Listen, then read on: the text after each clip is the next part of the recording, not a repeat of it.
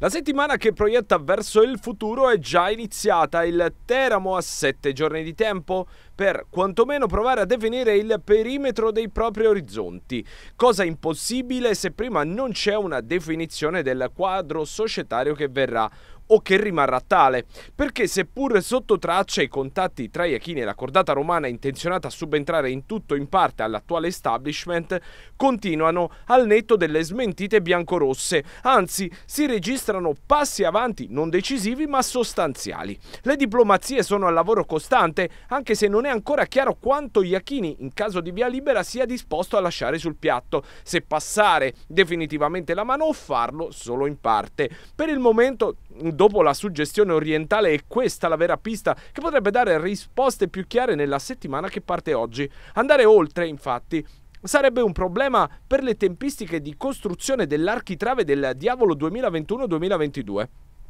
In realtà Iachini non ha ancora scelto se cedere la maggioranza o no della società. La questione infatti pare sia sulla valutazione complessiva del Teramo, con lo stadio che invece rimarrebbe fuori da questi discorsi perché in gestione ad altra società facente capo allo stesso Iachini. Si ragiona dunque solo su quanto, allo stato attuale, valga il sodalizio calcistico e su quanto eventuali cessioni estive potrebbero potenzialmente portare nelle casse biancorosse. Ma è altrettanto evidente che senza allenatore e con un direttore sportivo in scadenza tra 23 giorni pianificare trattative di mercato per elementi dell'organico appare quantomeno complicato.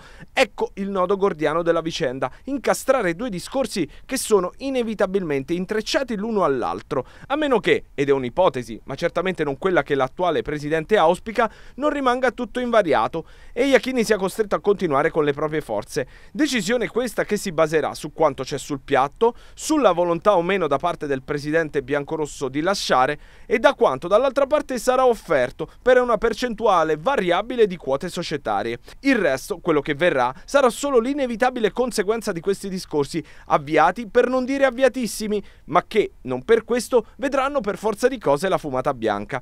Una volta consolidate e certe le linee programmatiche, ci sarà la conferma del direttore sportivo o, in caso di mancato rinnovo, la scelta del successore di Sandro Federico poi la ricerca del sostituto di Massimo Paci e la valutazione della rosa che possa competere per il prossimo campionato. Decisioni, quelle di tipo tecnico, che spetteranno a chi sarà investito di questo ruolo.